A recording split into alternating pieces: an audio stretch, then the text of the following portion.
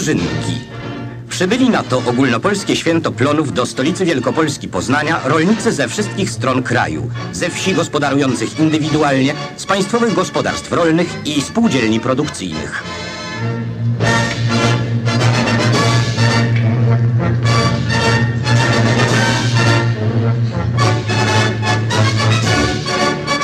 Mimo niełaskawej pogody, wieś polska na czas zdołała zebrać plony.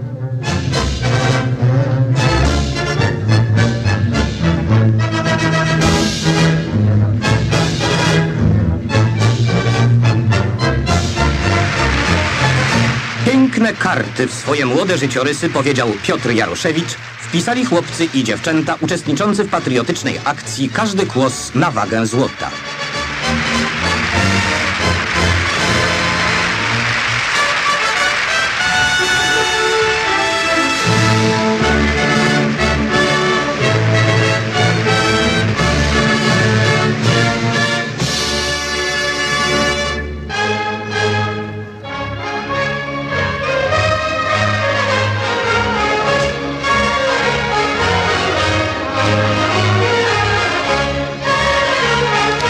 Najbardziej uroczysty moment dożynek. Starostowie Zofia Cybulska, rolniczka ze wsi Kamionna i Bogumił Paul, dyrektor kombinatu PGR w Bieganowie, wręczają gospodarzowi dożynek Edwardowi Gierkowi bochen chleba z tegorocznych zbiorów.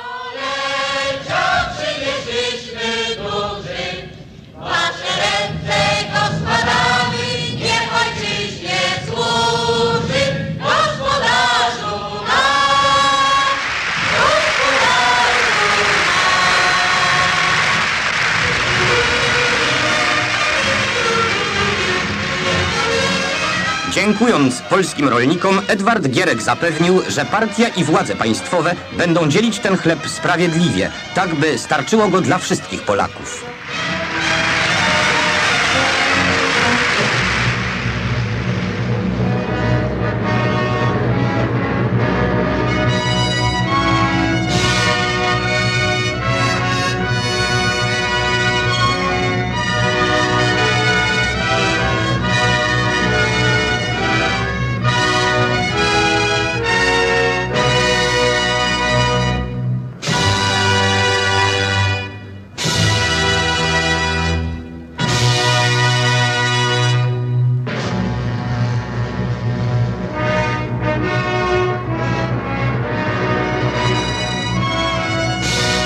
Plon niesiemy plon z 17 województw, z całej pracowitej Polski.